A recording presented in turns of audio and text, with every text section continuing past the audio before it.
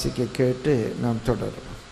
ஏசையா நாற்பத்தி மூணாம் அதிகாரம் ஒன்று முதல் இருபத்தொன்று வரை வாசிக்கிறேன். இப்போதும் யாக்கோபே உன்னை சிருஷ்டித்தவரும் இஸ்ரவேலே உன்னை உருவாக்கினவருமாகிய கர்த்தர் சொல்லுகிறதாவது பயப்படாதே உன்னை மீட்டு கொண்டேன் உன்னை பெயர் சொல்லி அழைத்தேன் நீ என் என்னுடையவன். நீ தண்ணீர்களை கடக்கும்போது நான் உன்னோடு இருப்பேன் நீ ஆறுகளை கடக்கும்போது அவைகள் உன்மேல் புரளுவதில்லை. நீ அக்னியில் நடக்கும்போது வேகாதிருப்பாய். அக்னி ஜுவாலை உன் பேரில் பற்றாது. நான் இஸ்ரேவேலின் பரிசுத்தரும் உன் இரட்சகரமாக இருக்கிற உன் தேவனாகிய கர்த்தர் உன்னை மீட்கும் பொருளாக எகிப்தையும் உனக்கு ஈடாக எத்தியோப்பியரையும் சேபாவையும் கொடுத்தேன். நீ என் பார்வைக்கு அருமையானபடியினால் கனம் பெற்றாய். நானும் உன்னை சிநேகித்தேன். ஆதலால் உனக்கு பதிலாக மனுஷர்களையும் உன் ஜீவனுக்கு ஈடாக ஜனங்களையும் கொடுப்பேன். பயப்படாதே நான் உன்னோடு இருக்கிறேன். நான் உன் சந்ததி கிழக்கிலிருந்து வரப்பண்ணி உன்னை மேற்கிலும் இருந்து கூட்டி சேர்ப்பேன். நான் வடக்கை நோக்கி கோடு என்றும் தெற்கை நோக்கி வைத்திராதே என்றும் சொல்லி தூரத்திலிருந்து என் குமாரரையும் என் பூமியின் கடையாந்திரத்திலிருந்து என் குமாரத்திகளையும் நான் என் மகிமைக்கென்று சிருஷ்டித்து உருவாக்கி படைத்து என் நாமம் தரிக்கப்பட்ட யாவரையும் கொண்டு வா என்பேன். கண்களிலிருந்தும் குருடாயிருக்கிற ஜனத்தையும் காதுகளிலிருந்தும் சேவடாய் இருக்கிறவர்களையும் புறப்பட்டு வரப்பண்ணுங்கள். சகல ஜாதிகளும் ஏகமாய் சேர்ந்து கொண்டு சகல ஜனங்களும் கூடி வரட்டும். இதை அறிவித்து முந்தி சம்பவிப்புகளை நமக்கு தெரிவிக்கிறவர் யார்? கேட்டு மெய் என்று சொல்லக்கூடும்படிக்கு அவர்கள் தங்கள் சாட்சிகளை கொண்டு வந்து யதார்த்தவான்களாய் விளங்கட்டும். நானே அவன் என்று நீங்கள் உணர்ந்து என்னை அறிந்து விசுவாசிக்கும்படிக்கு நீங்களும் நான் தெரிந்து கொண்ட என் தாசனம் எனக்கு சாட்சியாக இருக்கிறீர்கள் என்று கர்த்தர் சொல்லுகிறார். எனக்கு முன் ஏற்பட்ட தேவன் இல்லை எனக்கு பின் இருப்பதும் இல்லை. நான் நானே கர்த்தர் என்னை அல்லாமல் இரட்சகர் இல்லை. நானே அறிவித்து ரட்சித்து விளங்க பண்ணினேன். உங்களில் இப்படி செய்யத்தக்க அந்நிய தேவன் இல்லை. நானே தேவன் என்பதற்கு நீங்கள் எனக்கு சாட்சிகள் என்று கர்த்தர் சொல்லுகிறார். நான் உண்டாக்காததற்கு முன்னும் நானே இருக்கிறேன். என் கைக்கு தப்புவிக்கத்தக்கவன் இல்லை. நான் செய்கிறதை தடுப்பவன் யார்? நான் உங்களுக்காக அரண்களெல்லாம் இடிந்து விழவும் கல்தையர் படகுகளிலிருந்து அலறவும் செய்யத்தக்கவர்களை பாபிலோனுக்கு அரண் அனுப்பினேன் என்றும் உங்கள் மீட்பரும் இஸ்ரேவேலின் பரிசுத்தரமாகிய கர்த்தர் சொல்கிறார். நானே உங்கள் பரிசுத்தராகிய கர்த்தரும் இஸ்ரேவேலின் சிருஷ்டிகரும் உங்கள் ராஜாவுமானவர். சமுத்திரத்திலே வழியையும் வலிய தண்ணீர்களிலே பாதையும் உண்டாக்கி ரதங்களையும் குதிரைகளையும் இராணுவங்களையும் பராக்கிரமசாலிகளையும் புறப்பட பண்ணி அவைகள் எழுந்திராதபடிக்கு ஒருமித்து விழுந்து கிடக்கவும் ஒரு திரி அணைகிறது போல் அவைகள் அணைந்து போகும் பண்ணுகிற கர்த்தர் சொல்லுகிறதாவது முந்தினவைகளை நினைக்க வேண்டாம் பூர்வமானவைகளை சிந்திக்க வேண்டாம். இதோ நான் புதிய காரியத்தை செய்கிறேன் இப்பொழுது அது தோன்றும் நீங்கள் அதை அறியீர்களா? நான் வனாந்திரத்தில் வழியையும் அவாந்திர வெளியில் ஆறுகளையும் உண்டாக்குவேன். நான் தெரிந்து கொண்ட என் ஜனத்தின் தாகத்துக்கு வனாந்திரத்தில் தண்ணீர்களையும் அவாந்திர வெளியிலே ஆறுகளையும் உண்டாக்குவதனால் காட்டு மிருகங்களும் வலு சர்ப்பங்களும் கோட்டான் குஞ்சுகளும் என்னை கனம் பண்ணும். இந்த ஜனத்தை எனக்கென்று ஏற்படுத்தின் இவர்கள் என் துதியை சொல்லி வருவார்கள். ஏசாயா நாற்பத்தி மூன்றாம் அதிகாரம். ஒன்று இரண்டு ஐந்து. ஆகிய மூன்று வசனங்களை நான் உங்களுக்கு வாசிக்கிறேன். ஏசாயா நாற்பத்தி மூன்றாம் அதிகாரம் ஒன்று ரெண்டு வசனங்கள். இப்போது யாக்கோபே உன்னை சிருஷ்டித்தவரும் இஸ்ரவேலை உன்னை உருவாக்கினவருமாகிய கர்த்தர் சொல்லுகிறதாவது பயப்படாதே. உன்னை மீட்டு கொண்டேன் உன்னை பெயர் சொல்லி அழைத்தேன் நீ என்னுடையவன்.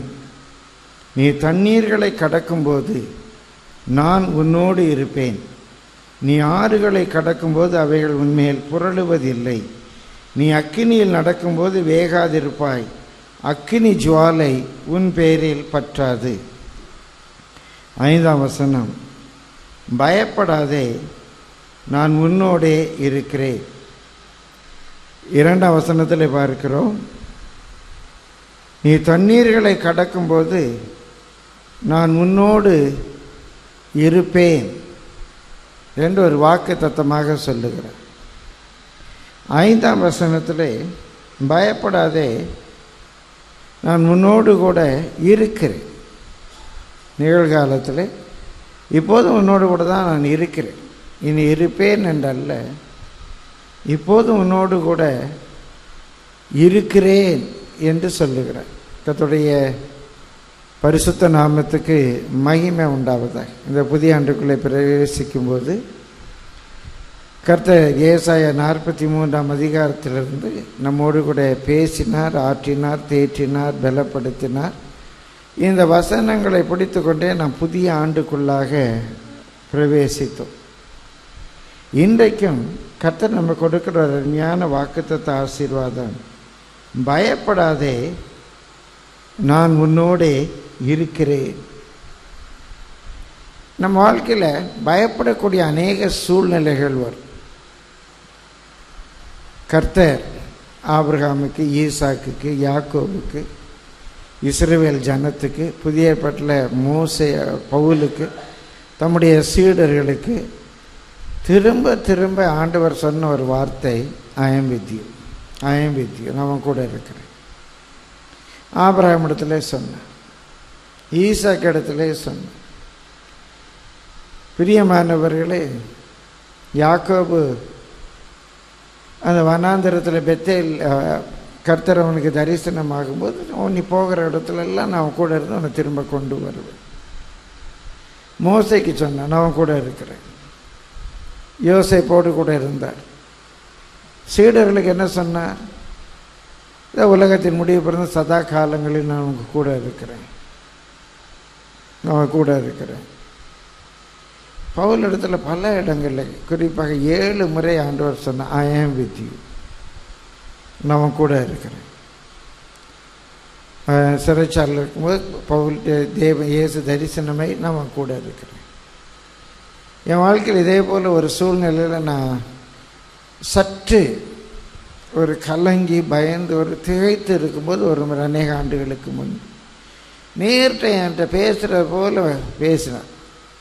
மூன்று sentence I am with you I will not leave you I will heal you இங்கே ஹீல் யூ என்று அவர் சொல்லும்போது நான் வியாதி பலவீனத்தோடு இருந்தேன் என்றல்ல அன்றைக்கு ஒரு நெருக்கத்தில் இருந்தேன். இதிலிருந்து உன்னை விடுவிப்பேன். I am with you I will not leave you I will heal you சொல்லும்போதே ஒரு பெரிய பலன் வந்து இறங்கினது. இப்படி பலர் இடத்துல கர்த்தர் நான் உன் கூட இருக்கிறேன் நான் உன் கூட இருக்கிறேன் நான் உன் கூட இருக்கிறேன் என்று சொல்லியிருக்கிறேன். அதில் ஒரு சம்பவத்தை நான் இன்றைக்கு உங்களுக்கு சுட்டிக்காட்ட விரும்புகிறேன். நான் விரும்புகிறேன் என்பதை காட்டிலும் ஆவியான என்னோடு கூட இந்த வேத பகுதியை குறித்து பேசினேன். மிக ஆச்சரியமாக இருந்தது. நம்ம நன்றாக தெரிந்த ஒரு வேத பகுதி தான். ஆனால் அந்த நிகழ்வை அந்த சம்பவத்தை அந்த வரலாற்று நிகழ்வை உங்களுக்கு ஞாபகப்படுத்த விரும்புகிறேன். ரெண்டு நாளாகவும் இருபதாம் அதிகாரம் பதினேழாம் வசனத்திலே ரெண்டு நாளாகவும் இருபதாம் அதிகாரம் பதினேழாம் வசனத்திலே ஒரு ராஜாவை பார்த்து கத்த சொல்லுகிறார் இந்த யுத்தத்தை பண்ணுகிறவர்கள் நீங்கள் அல்ல. இங்கே ராஜா ஒரு யுத்த சூழ்நிலையில் இருக்கிறார் யுத்த மேகம். அந்த ராஜாவை சூழ்ந்து இருக்கிறது அந்த நாட்டை சூழ்ந்திருக்கிறது. அந்த ஜனங்களை அந்த மக்களை சூழ்ந்து இருக்கிறது அப்போது ஆண்டவர் சொல்லுகிறார் இந்த யுத்தத்தை பண்ணுகிறவர்கள் நீங்கள் அல்ல. யூதா மனுஷரே எருசலேம் ஜனங்களே நீங்கள் தரித்து நின்று கர்த்தர் உங்களுக்கு செய்யும் ரட்சிப்பை பாருங்கள். பயப்படாமலும் கலங்காமலும் இருங்கள். நாளைக்கு அவர்களுக்கு எதிராக புறப்படுங்கள். கர்த்தர் உங்களோடு உங்களோடே இருக்கிறார் என்றான். அங்கே ஒரு எளிமையான தீர்க்கதரிசி இந்த தீர்க்கதரிசியை குறித்து அதிகமாக நாம் கேள்விப்படவில்லை. அது எளிமையான தீர்க்கதரிசியை கொண்டு கர்த்தர் ஒரு தீர்க்க தரிசனமாக அந்த ஜனங்களை பார்த்து சொல்லுகிறார். நீங்கள் பயப்பட வேண்டாம் கலங்க வேண்டாம். கர்த்தர் உங்களுடனே கூட இருக்கிறார். கர்த்தர் உங்களுடனே இருக்கிறார் என்றான் கர்த்தருடைய பரிசுத்த நாமத்துக்கு மகிமை உண்டாவதாக. இந்த சூழ்நிலையை நாம் அறிந்து கொள்ள வேண்டும் என்று சொன்னால் பிரியமானே ஒன்றாம் வசனத்தில் பார்க்கிறோம். அந்த சம்பவத்தை நான் உங்களுக்கு சுட்டி காட்டப் போகிறேன். இன்றைக்கு அதான் கர்த்தர் உங்களுக்கு கொடுத்திருக்கிற ஒரு வாக்கு தத்த தேவ செய்தி. ஒன்றாம் வசனத்தில் பார்க்கிறோம். இதற்கு பின்பு மோவா புத்திரரும் அம்மோன் புத்திரரும் அவர்களோடு கூட அம்மோனியருக்கு அப்புறத்தில் உள்ள மனுஷரும் அது செய்யர் தேசத்தார் என்று பின்னாலே பார்ப்போம். அப்போது யோசபாத் பிரியமானலே மோவா புத்திரரும் அம்மோன் புத்திரரும் சேயின் புத் சேயிர் புத்திரரும் யோசபாத்திற்கு விரோதமாக யுத்தம் பண்ண வந்தார். ஒரு சிலருக்கு இது தீர்க்க தரிசன வார்த்தைகளாக கூட இருக்கும் இந்த யோசபாத் யூதா ஜனங்கள் எருசலேம் குடிகள் இவங்களுக்கு அம்மோனியர் மோவாபியர்லாம் உறவினர்கள். அம்மோனியர் மோவாபியர்லாம் உறவினர்கள். அம்மோனியரும் மோவாபியரும் லோத்தினுடைய வம்சத்திலே வந்தவர்கள். லோத்தினுடைய வம்சத்திலே வந்தவர்கள். இவர்களுக்கு உறவினர்கள். இவர்கள் எகிப்திலிருந்து வரும்போது அம்மோன் மோவாப் தேசத்தின் வழியாக வந்தார்கள். ஆனால் அம்மோனியருக்கும் மோவாபியருக்கும் இவர்கள் எந்த விதமான தொந்தரவும் செய்யவில்லை. அவர்களோடு கூட சேயீர் மலை தேசத்தாரும் சேர்ந்து கொண்டார்கள். இது சேயீர் மலை தேசத்தார் என்றால் அவர்கள் ஏசா வம்சத்தைச் சேர்ந்தவர்கள். ஏசா வம்சத்தைச் சேர்ந்தவர்கள். மிக நெருங்கிய உறவினர்கள். ஈசாக்குடைய ஒரு பிள்ளை ஏசா. ஏசா வம்சத்தை சேர்ந்தவர்கள் தான் இந்த சேயீர் மலை தேசத்தார். பிரியமானவர்கள் எல்லாம் உறவுக்காரர்கள். இஸ்ரேல் ஜனங்கள் செயிர் தேசத்தின் வழியாக ஏதோமியர் சேயிர் ஏசா வம்சத்தர் எல்லாம் ஒருவர் தான். அந்த தேசத்தின் வழியாக வரும்போது இவர்கள் அவர்களுக்கு எந்த விதமான கேடும் செய்யவில்லை. ஆனால் இப்பொழுது அவர்கள் இவர்களுக்கு கேடு செய்ய எல்லா சொந்தக்காரங்களும் ஒன்றாக சேர்ந்து கொண்டு உறவின் முறையார்கள் எல்லாம் ஒன்றாக சேர்ந்து கொண்டு இந்த குட்டி நாடாகிய யூதாவுக்கு விரோதமாக யுத்தம் செய்ய வருகிறார்கள். எப்போ வருகிறாள் என்றால் ஒன்றாம் வசனத்தில் பார்க்கிறோம். இதற்கு பின்பு இதற்கு பின்பு. இயற்கையாக ஒரு கேள்வி வருகிறது எதற்கு பின்பு? இதை யோச பார்த்து ஒரு நல்ல ராஜாவுடைய வாழ்க்கையில் சின்ன சின்ன பிழைகள். குறிப்பாக அவன் ஆகாபோடு கூட சேர்ந்து யுத்தத்துக்கு போனது. இப்படிப்பட்ட சின்ன பிழைகள் இருந்தன. தேவனுக்கு பிரியமில்லாத காரியங்கள். ஆனாலும் தேவனுக்கு பிரியமான காரியங்களை இவன் நிறையா செய்தான். தேவன் இவன் மேல் கிருபையாக இருந்தார் அங்கே இதை தெளிவாக புரிந்து கொள்ள வேண்டும் என்றால் பத்தொன்பதாம் வசனத்தில் முழு அதிகாரத்தையும் வாசிக்கணும். நேரம் இல்லை நான்காம் வசனத்தில் பார்க்குறோம். யோசபாத் எருசலேமிலே வாசமாக இருந்து திரும்ப பேர்சபா தொடங்கி எப்ராஹிம் மலை தேசம் எங்குமுள்ள ஜனங்களுக்குள்ளே பிரயாணமாகி போய் அவர்களை தங்கள் பிதாக்களுடைய தேவனாகிய கர்த்தரிடத்துக்கு திரும்ப பண்ணினான். இந்த யோசபாத்து தேசம் முழுவதும் சுற்றுப்பயணம் செய்து ஒருமுனை தொடங்கி மறுமுனை மட்டுமாக சுற்றுப்பயணம் செய்து ஜனங்களை தன் தேவனிடத்துக்கு திரும்ப பண்ணினான். தனக்கு ஓட்டு கேட்டு சுற்றுப்பயணம் செய்யலை. தனக்கு வாக்கு வாங்கியை பெருக்கிக் கொள்வதற்காக சுற்றுப்பயணம் செய்யலை. தேசமெங்கும் அவன் சுற்றுப்பயணம் செய்தான். ஜனங்களை தேவனிடத்துக்கு திரும்ப பண்ணும்படியாக அவன் சுற்றுப்பயணம் செய்தான். ஐந்தாம் வசனம் அவன் யூதாவின் அரணான பட்டணமாகிய ஒவ்வொரு பட்டணத்திலும் நியாயாதிபதிகளை வைத்து அந்த நியாயாதிபதிகளை நோக்கி நீங்கள் செய்கிற காரியத்தை குறித்து எச்சரிக்கையாக இருங்கள் நீங்கள் மனுஷருடைய கட்டளைகளால் அல்ல கர்த்தருடைய கட்டளைகளால் நியாயம் விசாரிக்கிறீர்கள். நியாயம் விசாரிக்கிற விதி விஷயத்திலே அவர் உங்களுடனே இருக்கிறார். அதனால் கர்த்தருக்கு பயப்படுகிற பயம் உங்களிடத்தில் இருக்க கடவுது. எச்சரிக்கையாக இருந்து காரியத்தை நடத்துங்கள். உங்கள் தேவனாகிய கர்த்தரிடத்தில் அநியாயமும் முகதாட்சியமும் இல்லை. பரிதானமும் அவரிடத்திலே செல்லாது என்றான். அங்கே நியாயாதிபதிகள் ஜட்ஜஸ் மேஜிஸ்ட்ரேட்ஸ் எல்லா இடத்துலையும் மேஜிஸ்ட்ரேட்ஸ் அப்பாயின்ட் பண்ணி நீங்கள் லஞ்சம் வாங்கக்கூடாது. கர்த்தருக்கு பயந்து நீதி நியாயம் செய்யுங்க. இதே நீங்கள் லஞ்சம் வாங்குறதுல எனக்கு ஒரு பகுதி கமிஷன் கொடுங்க என்று கேட்கல. இன்றைக்கு அப்படிப்பட்ட ராஜாக்கள் இருக்கிறார்.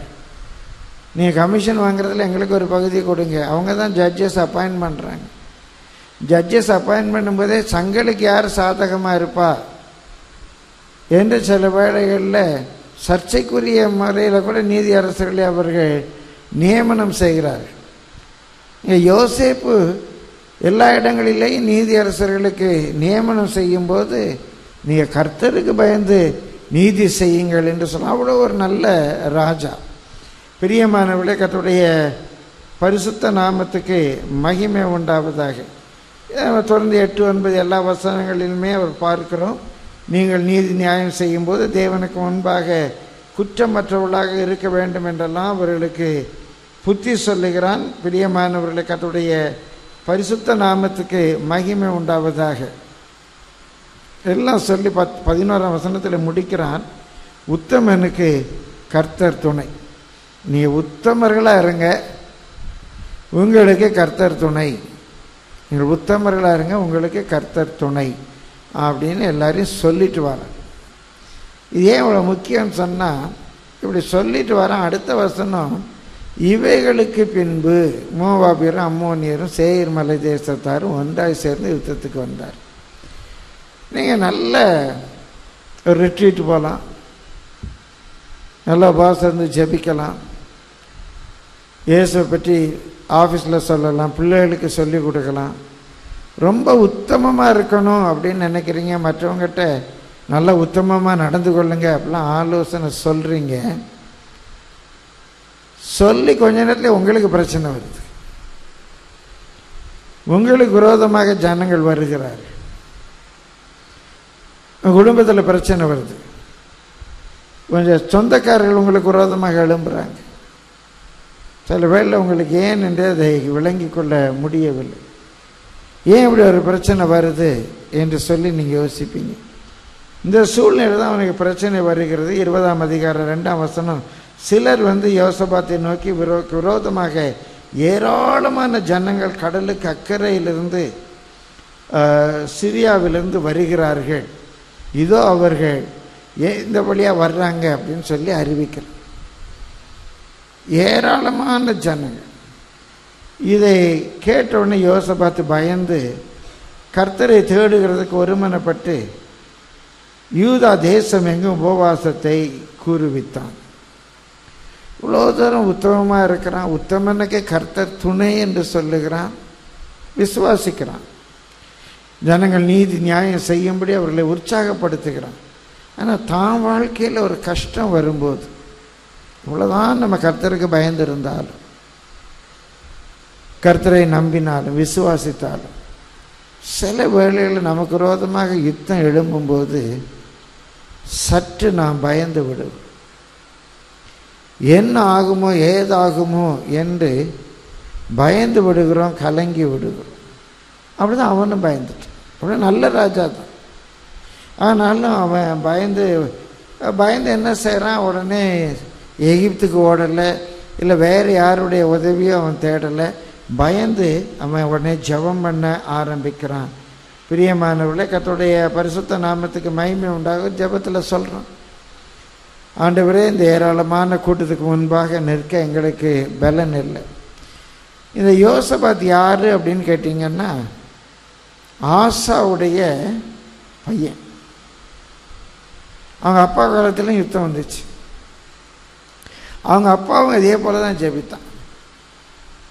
ஆண்டவரே நீர் கொஞ்சம் பேரை கொண்டாகிலும் அதிக பேரை கொண்டாகிலும் நீர் ஜெயம் கொடுக்க வல்லவராக இருக்கிறே. இது ஏராளமான கூட்டத்துக்கு முன்பாக நிற்க எங்களுக்கு பலன் இல்லை அப்படின்னு அப்பா ஜெபிச்சிருக்கார். பிள்ளை பார்த்துருக்குறான். இதுலேயும் உங்களுக்கு ஒரு சின்ன பாடத்தை சொல்கிறேன் நம்முடைய நம்மை பார்த்து நம்முடைய பிள்ளைகள் கற்றுக்கொள்வார். எத்தனை பேருக்கு இந்த வரலாற்று பின்னணியெல்லாம் தெரியுமோ தெரியல. ஆசாவுடைய பையன் தான் யோசபாத். அப்பா ஜெபிச்சது அவனுக்கு தெரியும். அதனால் யோசபாத்தும் அதே மாதிரி ஜபிக்கிற ஆண்டவரே ஏராளமான கூட்டத்துக்கு முன்பாக நிற்க எனக்கு பலன் இல்லை. நீங்கள் தான் ஏதாகிலும் உதவி செய்ய வேண்டும் என்று ஜெபிக்கிறான் பிரியமானவர்களை கத்துடைய பரிசுத்த நாமத்துக்கு மகிமை உண்டாவது பன்னெண்டாம் வசனத்தில் எங்கள் தேவனே அவர்களை நீர் நியாயந்திருக்க மாட்டீரோ? எங்களுக்கு விரோதமாக வந்த இந்த ஏராளமான கூட்டத்திற்கு முன்பாக நிற்க எங்களுக்கு பலன் இல்லை. நாங்கள் செய்ய வேண்டியது இன்னதென்று எங்களுக்கு தெரியவில்லை. ஆகையால் எங்கள் கண்கள் உண்மையே நோக்கி கொண்டிருக்கிறது. எங்களுக்கு என்ன பண்ணணும்னு தெரிலப்பா. என்ன பண்ணணும்னு தெரில. சத்துரு வெள்ளம் போல வர்றான். சொந்தக்காரங்க. உறவின் முறையார். பங்காளிகள். சொக்காரங்க. யா என்ன செய்கிறதுன்னு தெரியல ஐயா. ஏராளமான கூட்டத்துக்கு முன்பாக நிற்க எங்களுக்கு பலன் இல்லையா என்று சொல்லி பிரியமானவர்களே கர்த்தருக்கு முன்பாக அழுகிறான். கர்த்தருடைய பரிசுத்த நாமத்துக்கு மகிமை உண்டாவதாக. இப்படி எல்லாரும் ஜெபிக்கும்போது அங்கே சபையின் நடுவில் இருக்கிற மத்தியாவின் குமாரனாகிய ஏபேலின் மகனாக பெனையாவுக்கு பிறந்த சகாரியாவின் புத்திரராகிய எகாசியேல். இந்த எகாசியலை யாருக்கும் தெரியாது போல. இந்த எகாசியல் யாருன்னு சொல்லணும்னா அவங்க அப்பா பேர். அவங்க அப்பாவும் தெரியாது. அவங்க தாத்தா பேர். அவங்க பூட்டினார் பேர். இவ்வளவு அட்ரஸ் சொன்னால் தான் இவனுக்கு அட்ரஸே வருது. சொல்கிறார் பாருங்க மத்தியாவின் மத்தியாவின் குமாரனாகிய அப்போ அவர் உயிரோடு இருக்கார். சபையின் நடுவில் இருக்கிற மத்தியாவின் குமாரனாகிய ஏஏலின் மகனாகிய பெனையாவுக்கு பிறந்த சகரியாவின் புத்திரரின் புத்- புத்திரன் எகாசியேல் என்னும் ஆசாப்பின் புத்திரரில் ஒருவனான லேவியின் மேல் கர்த்தருடைய ஆவி இறங்கினதினால் அவன் சொன்னது இங்கே இவனுடைய நாட்களில் யோசபாத்துடைய நாட்களில் எலிசா தீர்க்கதரிசிலாம் இருக்கிறார். நான் எப்போதுமே வரலாற்றோடு ஒப்பிட்டு பார்க்கும்போது எனக்கு அது ரொம்ப சுவாரஸ்யமாக இருக்கும். எலிசா போன்ற தீர்க்கதரிசிகள் இருக்கிறாங்க. மிகாயா தீர்க்கதரிசி இருக்கிறார். இவங்க நாட்களில் தான் இந்த பையன் சின்ன பையன். இந்த உறவுகளெல்லாம் பார்க்கும்போது இந்த பையன் ரொம்ப சின்ன பையனாக இருந்திருக்க வேண்டும் என்று நான் நினைக்கிறேன். அகாசியே அகாசியே இவன் வேற எந்த தீர்க்கதரிசி சொன்னதெல்லாம் இல்லை. எல்லாம் சேர்ந்து அழுது ஜபிச்சுட்டு இருக்காங்க. திடீர்னு இந்த பையனுக்குள்ளே ஒரு தீர்க்கதரிசின ஆவி வந்து இறங்கி வச்சான் பெரிய தீர்க்கதரிசிலாம் இல்லை. அவன் ஒரு பாடகர். பாடகருடைய குடும்பத்தை சேர்ந்தவன். திடீர்னு அவன் மேலே தீர்க்கதரிசி ஆவி வந்து இறங்கினோடனே பதினைந்து வசனத்திலிருந்து அவன் சொல்கிறான் எல்லாரும் கேளுங்க பயப்பட இந்த ஏராளமான கூட்டத்துக்கு பயப்படாமலும் கலங்காமலும் இருங்கள் என்று கர்த்தர் உங்களுக்கு சொல்லுகிறார். இந்த யுத்தம் உங்களுடையதல்ல தேவனுடையது. நாளைக்கு நீங்கள் அவர்களுக்கு விரோதமாய் போங்கள். இதோ அவர்கள். அப்படி நீங்கள் எப்படி போனேன்னெல்லாம் விவரத்தை சொல்லிட்டு பதினேழாம் வசனத்தில் சொல்லுகிறான் அதான் இன்றைக்கு நாம் வாசித்தோம் இந்த யுத்தத்தை பண்ணுகிறோம் நீங்கள் அல்ல யூதா மனுஷரே எருசலேம் ஜனங்களே நீங்கள் தரித்து நின்று கர்த்தர் உங்களுக்கு செய்யும் ரட்சிப்பை பாருங்கள் பயப்படாமலும் கலங்காமலும் இருங்கள் நாளைக்கு அவர்களுக்கு எதிராக புறப்படுங்கள் கர்த்தர் உங்களோடு கூட இருக்கிறார் என்றான். இது காலை தியானமாக இருந்தாலும் சற்று இந்த வரலாற்று சம்பவத்தை உங்களுக்கு நான் தொகுத்து கொடுக்க வேண்டியதாக இருந்தது. அப்போ தான் அதனுடைய பின்னணியை நீங்கள் நன்றாக அறிந்து கொள்ள முடியும். ஒரு பெரிய யுத்தம். நல்ல மனுஷன் யோசபாத். உறவினர்கள் விரோதமாக வர்றாங்க. என்னுடைய மனதில் திரும்ப திரும்ப சிலரோடு கத்த தீர்க்க தரிசனமாக பேசுகிறார் என்பதை அறிந்திருக்கிறேன்.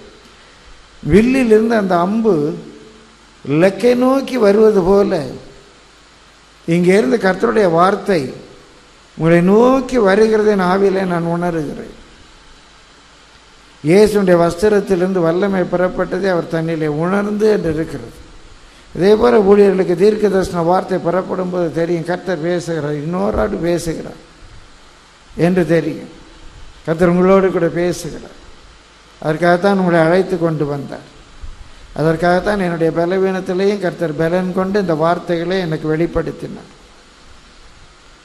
நீ நல்ல கர்த்தருடைய பிள்ளை. நல்ல ஜெபிக்கிற பிள்ளை. மற்றவர்களை உங்கள் பிள்ளைகளை கணவனை மனைவி உங்களை குடும்பத்தாரை கர்த்தர் பக்கமாக நடத்துகிற பிள்ளை. அவ்வளோ வாஞ்ச உள்ளவங்க.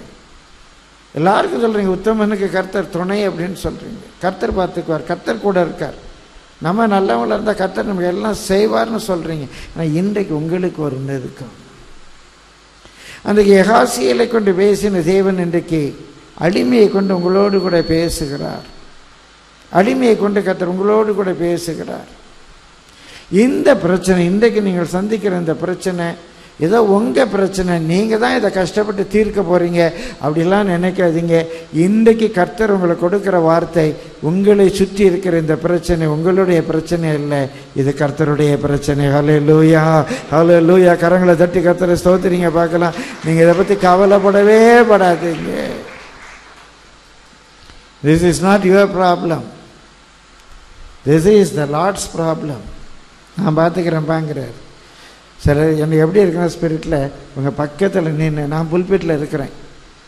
நான் எல்லார் பக்கத்துலையும் நிற்க முடியாது. கர்த்தர் உங்கள் பக்கத்தில் நின்று உங்கள் வலதுகையை பிடித்து பயப்படாத நான் பார்த்துக்கிறேன் அப்படின்னு சொல்கிறது போல் எனக்கு இருக்குது. லூயா பயப்படாத நான் பார்த்துக்கிறேன். இது என் பிரச்சனை? விட்டுரு. என் பிரச்சனை? விட்டுரு. நான் பார்த்துக்கிறேன். பிரியமானவர்களே ஒரு பையனுக்கு ஒரு பயங்கரமான பிரச்சனை. அவனுக்கு விரோதமாக சிலர் சண்டைக்கு வர்றாங்க. அந்த ஊரில் ஒரு கார்ப்பரேஷன் கவுன்சிலர் அரசியலில் நல்லா செல்வாக்குள்ளவன்.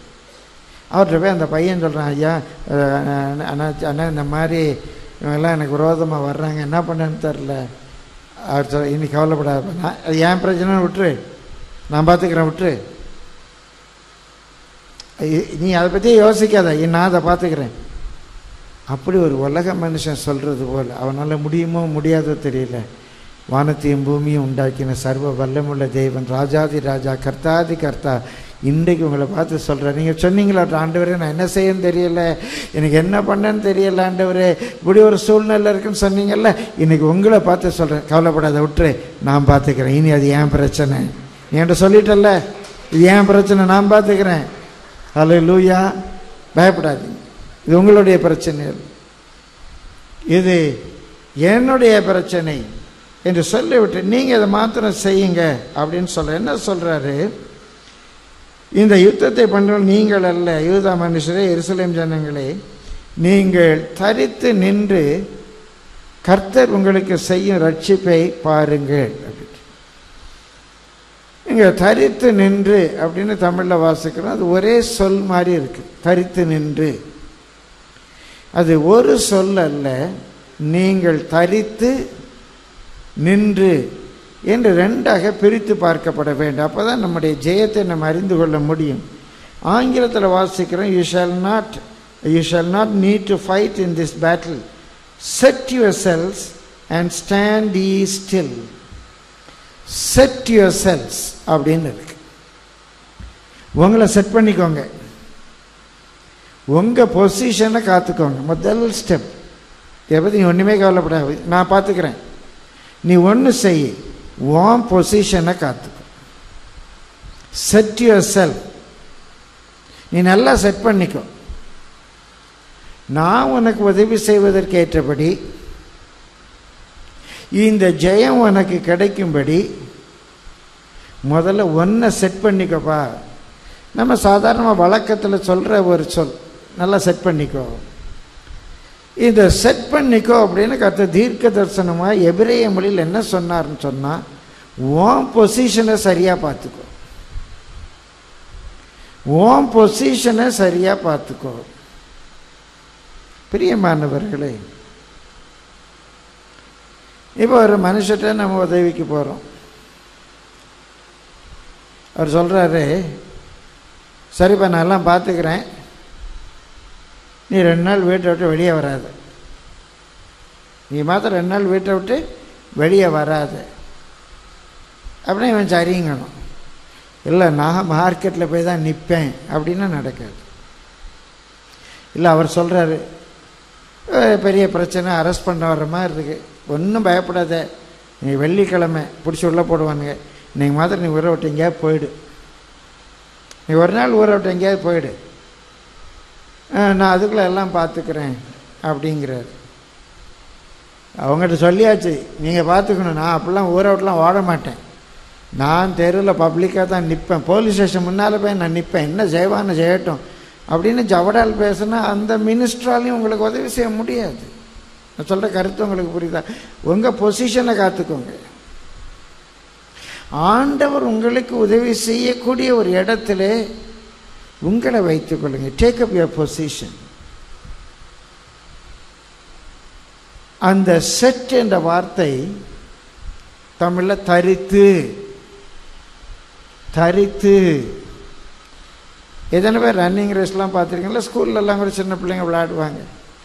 ஒரு மூணு வார்த்தை சொல்லுவாங்க. ஆன் யுவர் மார்க் யாராவது சொல்லுங்கள் அடுத்தால என்ன சொல்லுவாங்க? Get set on your mark அங்கே ஒரு கோடு போட்டிருக்கு. பார்த்துக்கோ கோட்டுக்கு முன்னால் நிற்கியா பின்னால் நிற்கியா பார்த்துக்கோ. ஆன் யுவர் மார்க் இந்த கோட்டில் இருந்தால் நீ ஓட ஆரம்பிக்கணும். உடனே நாங்கள்லாம் ரெடி ஆகும் on your mark get set அப்படின்னு ரெடியாக ஓட போகிறோம் கோ அப்படின்னு ஓடணும். அதான் செட் ரொம்ப அழகான வார்த்தை. கர்த்தர் உங்களுக்காக யுத்தம் செய்ய வேண்டும் என்று சொன்னார். கர்த்தர் விரும்புகிற பொசிஷனை எடுங்க. ஓய்வு நாளை பரிசுத்தம் ஆசரிக்கணுமா ஆசரிங்க தசம பாகம் காணிக்கையில் உண்மையாக இருக்கணுமா? உண்மையாக இருங்க. முதலாவது அவருடைய ராஜ்யத்தை அவருடைய நீதியும் தேடணுமா? தேடுங்க. அவருக்கு பிரியமானவைகளை செய்ய முன்னுக்கு வாங்க. யுத்தத்தை பற்றி கவலைப்படாதீங்க. பிரச்சனையை பற்றி கவலைப்படாது கதர் பார்த்து கொள்வார் ஆனால் take up your position that's very very important அந்த சின்ன வேட் நின்று அல்ல தரித்து நின்று. தரித்து நின்று. செட் அண்ட் ஸ்டாண்ட் ஸ்டில் இதில் முழு பகுதியில் நான் ரொம்ப முக்கியப்படுத்த விரும்புகிறது அந்த set set yourselves set yourselves நல்லா கரெக்டாக செட் பண்ணிக்கோங்க. எப்படி இருந்தால் கர்த்தர் ஆசீர்வதிப்பாரோ எப்படி இருந்தால் கர்த்தர் உங்களுக்காக யுத்தம் பண்ணுவாரோ எப்படி இருந்தால் பிசாசு உள்ளே வராதோ அப்படி உங்கள் பொசிஷனை காத்துக்கோங்க. நான் என் இஷ்டப்படி அலைவேன் குடிப்பேன் சினிமா பார்ப்பேன் டிவி பார்த்துக்கிட்டு இருப்பேன் டிவியில் உட்காந்து அங்கே நாடகம் பார்த்துக்கிட்டு இருப்பேன் இல்லை கிறிஸ்தவ படத்தில் வர்ற ஒரு ஆபாசமான காட்சியை பார்த்துக்கிட்டு இருப்பேன். பிரியமானவர்களே ஒரு சமீபத்தில் வெளியே வந்த ஒரு கிறிஸ்தவ பாட்டு உங்கள் ஆசீர்வாதத்துக்காக ரிலீஸ் பண்ணுறோன்னு சொல்லி ஒரு டிவி டிவி சேனல் நடத்துகிற ஒரு வயசானவர். அது பயங்கரமான ஒரு ஆபாசம் நிறைந்த ஒரு பாட்டு. இப்படி ஒரு பாட்டு வந்திருக்குது. இப்படிப்பட்ட காலக்கட்டத்தில் இருக்கும் அதனால் சர்ச்சில் போட முடியாது. வேணால் அந்த ரூமில் போட்டு காட்டுறேன். பார்க்க பாருங்க அப்படின்னு சொன்ன பிரியமானவர்களே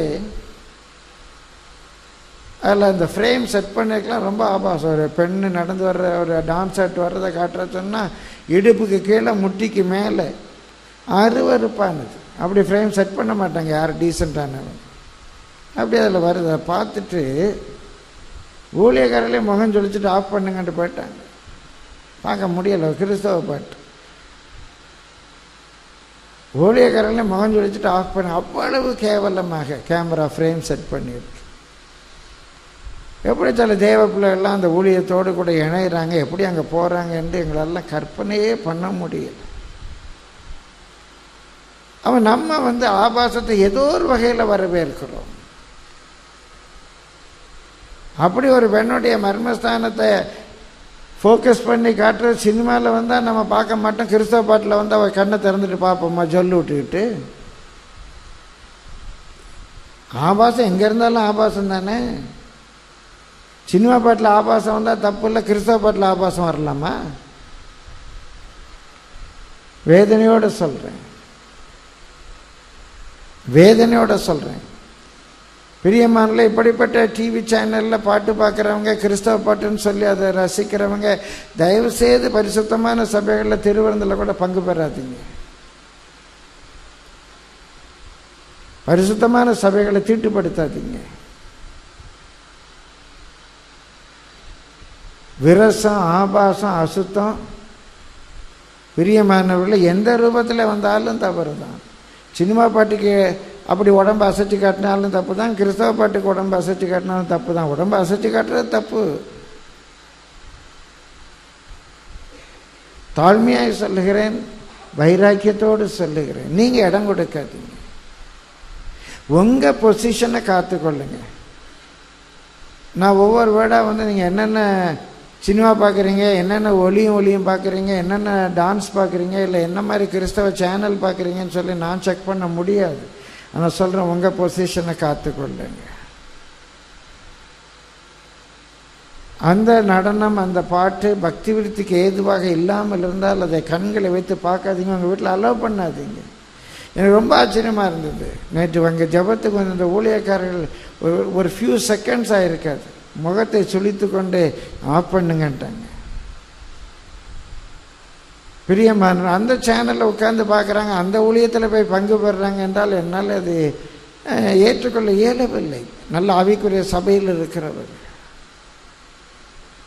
கர்த்தருடைய பரிசுத்த நாமம் மகிமைப்படுவதாக. நம்ம பிசாசுக்கு இடம் கொடுக்கக்கூடாது நம்ம பொசிஷனை காத்துக்கொள்ளணும். கர்த்தர் நமக்காக யுத்தம் பண்ணுவார். ஆனால் அவர் பேச்சை கேட்காம கர்த்தாவை யுத்தம் பண்ணு யுத்தம் பண்ணு யுத்தம் பண்ணுன்னா காரியம் நடக்காது. உங்கள் பொசிஷனை எடுத்துக்கிட்டு ரெண்டாவது ஸ்டாண்ட் ஸ்டில் ஸ்டாண்ட் ஸ்டில் நீங்கள் தரித்து நின்று அப்படின்னு சொன்னால் பிரியமானவர்களே கத்துடைய பரிசுத்த நாமத்துக்கு மகிமை உண்டாவதாக.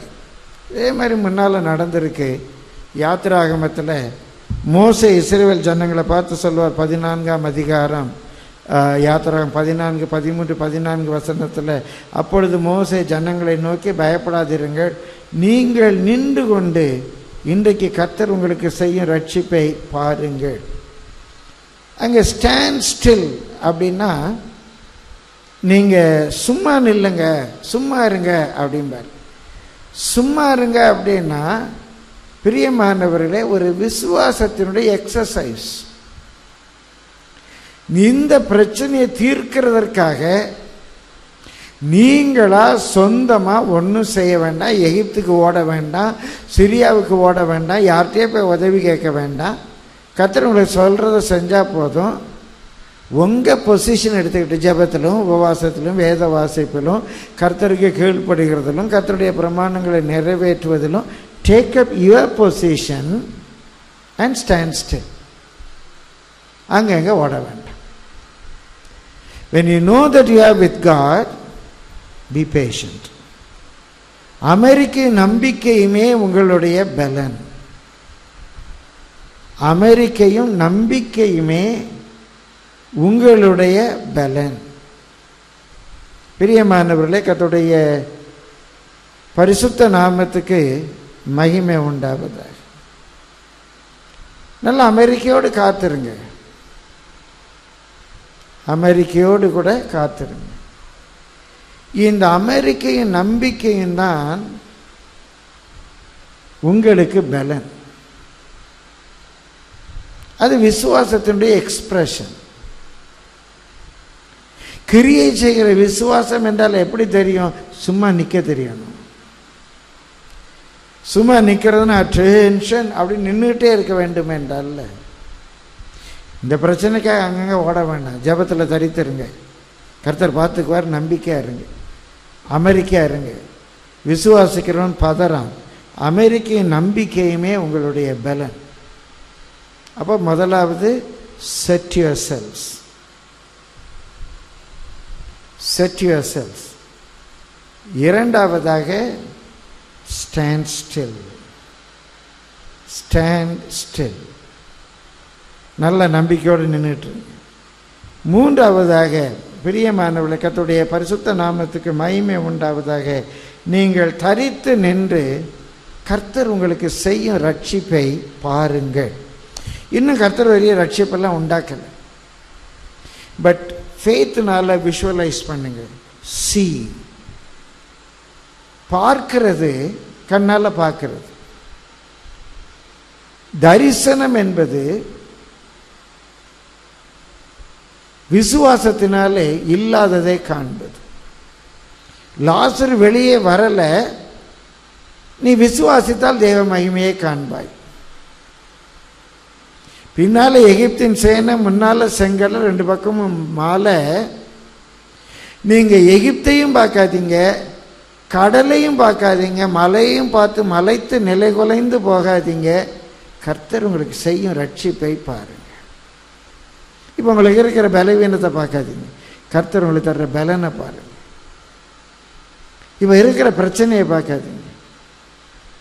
பயங்கரமாக அம்மோனியர் மோவாபியர் அம்மோனியர் சேர் மலை தேசத்தை பயங்கரமாக சுற்றி பார்க்காதீங்க. அதை பார்த்தா அதைரியம் வந்துடும் என்ன செய்ய தெரியலையேம்பிங்க கர்த்தர் செய்ய ரட்சிப்பை பாருங்கள்ங்கிற இதே வார்த்தை மோசே சொன்னான் மோசே சொன்ன வார்த்தையை இன்றைக்கு எகாசியல் என்ற ஒரு சின்ன தீர்க்கதரிசி சொல்கிறான் மோசே எவ்வளோ பெரிய ஆளு. மோசே சொன்ன வார்த்தையை இன்றைக்கு எகாசியல் சொல்கிறான் கர்த்தர் செய்கிற ரட்சிப்பை பாருங்க. ஏன்னா கேட்டிருப்பான். ஆவியானவர் ஒரே ஆவியானவர் தானே. மோசைக்குள்ளே இருந்து அதே ஆவியானவர் தானே எகாசியலுக்குள்ளே இருக்கிறாரு. மோசைக்குள்ளேருந்து அதே ஆவியானவர் தானே எகாசியலுக்குள்ளே இருக்கிறாரு. பிரியமானவர்களே கேட்குறான்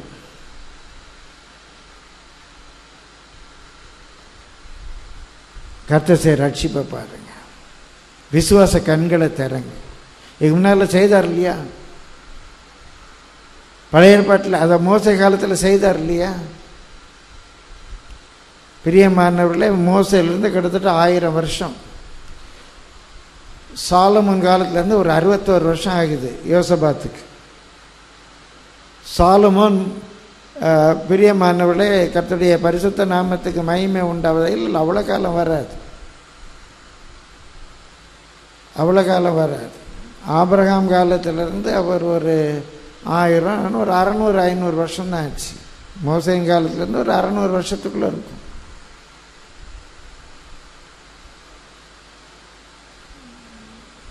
பிரியமானவர்களே கர்த்தர் உங்களுக்கு செய்யும் ரட்சிப்பை பாருங்க. கர்த்தர் உங்களுக்கு செய்யும் ரட்சிப்பை பாருங்க. பழைய முந்தி எப்படி செய்தார்?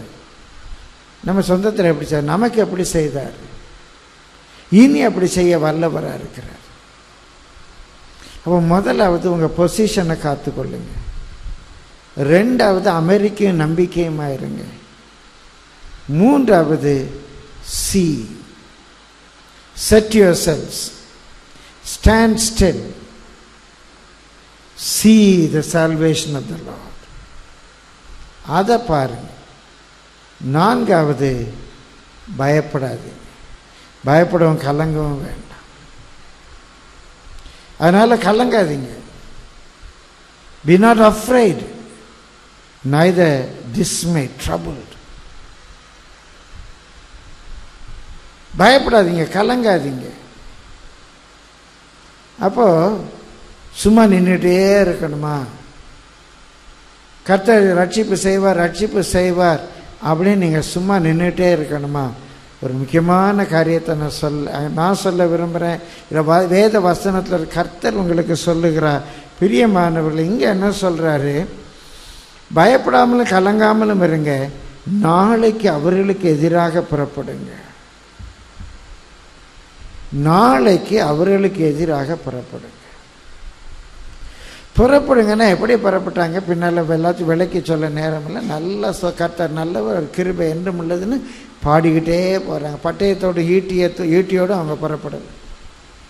அவங்களுக்கு விரோதமாக அவங்க பட்டயத்தோடு ஈட்டியோடு வர்றாங்க. இவங்க அவங்களுக்கு விரோதமாக எப்படி புறப்படுறாங்க? கர்த்தர் நல்லவர் அவர் கிருபை என்றும் உள்ளது. கர்த்தர் நல்லவர் அவர் கிருபை என்றும் உள்ளது. அப்படின்னு இவங்க ஸ்தோத்திரத்தோடு கூட புறப்படுறாங்க. இப்படி கர்த்தர் நல்லவர் ஒரு கிருபை என்றும் உள்ளது. கர்த்தர் நல்லவர் கிருபை என்றும் உள்ளது. இவங்க சொல்ல சொல்ல சொல்ல பிரியமானவர்களே கர்த்தர் கூட இருக்கிறார். கர்த்தர் உங்களோடு கூட இருக்கிறார். பிரியமான கர்த்தருடைய பரிசுத்த நாமத்துக்கு மகிமை உண்டாவதாக கர்த்தர் உங்களுடனே கூட இரு எப்போ கூட இருப்பார்? கர்த்தர் நல்லவர் அவர் கிருபை என்று ஏண்டவரே உமக்கு கண் இல்லையா? ஏண்டவரே என்னை கைவிட்டீரு? ஏண்டவரே இப்படி ஒரு சூழ்நிலை அனுமதித்தீரு? ஏண்டவரே எனக்கு பயமாக இருக்காண்டவரே என்று கலங்கி திகையாமல் அவர்களுக்கு விரோதமாக உங்களை சுற்றி இருக்கிறவங்களுடைய பிரச்சனைக்கு விரோதமாக புறப்படுங்க புறப்படும் போது தைரியமாக சொல்லுங்கள் கர்த்தர் நல்லவர் அவர் கிருபை என்றும் உள்ளது. கர்த்தர் நல்லவர் அவர் கிருபை என்றும் உள்ளது. என்று கர்த்தரை உயர்த்தி நீங்கள் கர்த்தரை மேன்மைப்படுத்தி உங்கள் பிரச்சனையை சந்திக்க தீர்மானிங்க கர்த்தர் உங்களுடனே கூட இருக்கிறார். இந்த புதிய ஆண்டுக்குள்ளே பிரவேசிக்கும் போது கர்த்தர் கொடுத்த வாக்கு தத்துவம் புதிய காரியங்களை செய் நான் உங்களோடு கூட இருக்கிறேன். அவர் நம்மோடு கூட இருந்த புதிய காரியங்களை செய்வார். இவங்க கர்த்தர் நல்லவர் கிருபை என்றும் உள்ளது. கர்த்தர் நல்லவர் கிருபை என்றும் உள்ளதுன்னு சொல்லிட்டே போகிறாங்க அங்கே ஒருவருக்கு ஒருவர். அம்மோனியரும் மோபாவியரும் ஒருவரை ஒருவர் அடித்து கொண்டு எப்படி அவங்களுக்குள்ள சண்டை வந்துச்சு? ஒன்றா இருந்து அவங்களுக்குள்ள சண்டை வந்துச்சு. துண்டை காணும் துணியை காணும் அவன் ஓட ஆரம்பித்தான். கர்த்தர் உங்களுக்கு ஏதோ ஒரு புதிய வழியிலே ஜெயத்தை கட்டளையிடுவார். நம்ம எல்லாரும் இருக்கிற இடத்துல எழும்பி நின்று சொல்லுவோம் ஆண்டவரே நீர் நல்லவர் உம்முடைய கிருபை என்றும் உள்ளது.